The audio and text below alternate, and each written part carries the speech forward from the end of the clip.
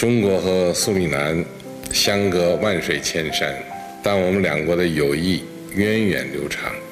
历久弥坚。早在一百七十多年前，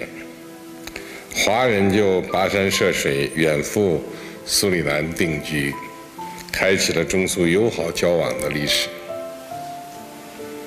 苏里南是第一批同新中国建交的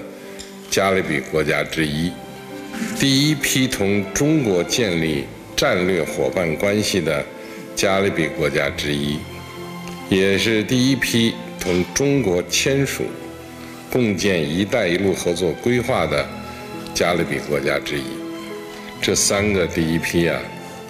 充分说明中苏关系始终走在中国同加勒比国家的关系的前列。